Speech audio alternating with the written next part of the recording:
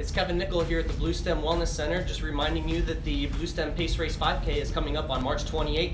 You can register at bluestempace.org slash events. Today's training tip is on incorporating some speed work into your daily running routine.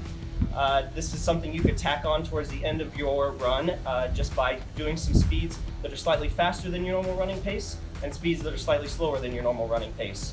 An example would be to do 20 seconds at slightly faster than your 5K uh, or normal running pace, uh, and then doing following that with 40 seconds slower than your normal running pace. Do three to five intervals, uh, and this will give you a little feel for running at some faster speeds. Good luck, and we'll see you at the pace race.